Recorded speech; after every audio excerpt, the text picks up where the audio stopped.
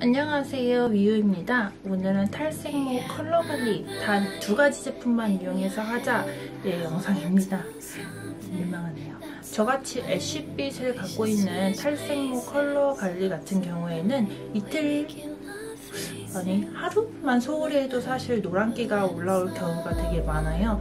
그렇기 때문에 일주일에 세 번은 제가 이 방법을 이용을 해서 관리를 하고 있고요. 일주일에 3일인 월, 목, 일을 제외하고 나머지 시간은 제가 어, 보습 관리를 중점으로 하고 있는데요. 이거는 업로드 될 건데 이 두 영상을 보시면 제가 일주일 내내 관리를 어떻게 하는지를 보실 수 있으실 거예요. 그럼 영상 시작할게요. 고고! 샤워를 하면서 탈색모 컬러 관리하는 방법이에요. 먼저 머리를 적셔줍니다. 그리고 다소 저렴한 컨디셔너로 아낌없이 전체적으로 발라줍니다.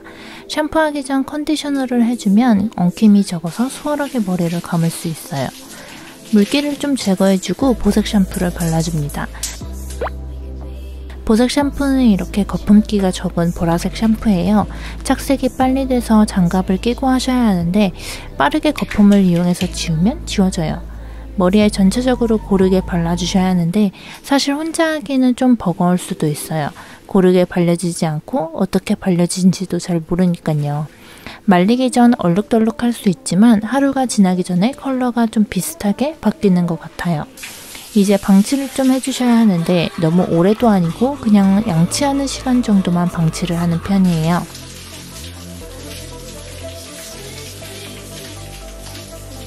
그리고 나서 몸을 닦아주셔야 돼요. 착색된 부분은 대부분 이때 다 지워집니다. 그리고 트리트먼트 흡수를 위해서 수건을 따뜻한 물로 적셔주고 물기를 제거해줍니다. 트리트먼트는 헹구는 트리트먼트보다 바르는 트리트먼트를 사용해서 단계를 줄여주었는데요. 헤어필 같은 경우 바르는 트리트먼트로 유명해서 시즌2 구매했고요. 이번에 미용하는 친구에게 빌려왔어요.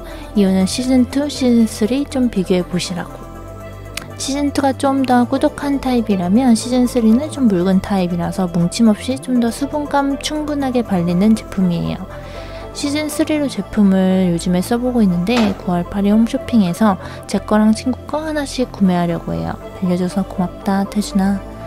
머리에 전체적으로 바른 뒤에 뜨거운 물에 적신 수건을 덮어줍니다. 그리고 나서 스킨케어를 하면서 트리트먼트가 흡수될 수 있게 해줍니다.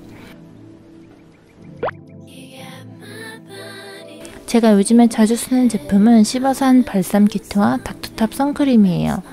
씹어산 미스트, 앰플, 로션을 발라준 뒤 선크림을 발라주는데 시카 성분이 포함되어 있고 기초 제품처럼 발림성이 좋아서 잘 사용하고 있어요.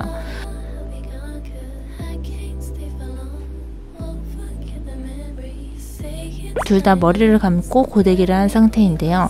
자기 전 머리를 빗어봤어요. 탱그런 트리트먼트에서 바르는 트리트먼트로 단계를 좀 줄여서 솔직히 걱정 많이 했는데 이 영상 보니까 걱정은 좀 사라지는 것 같아요. 보색 샴푸로 컬러감도 많이 잡힌 것 같네요.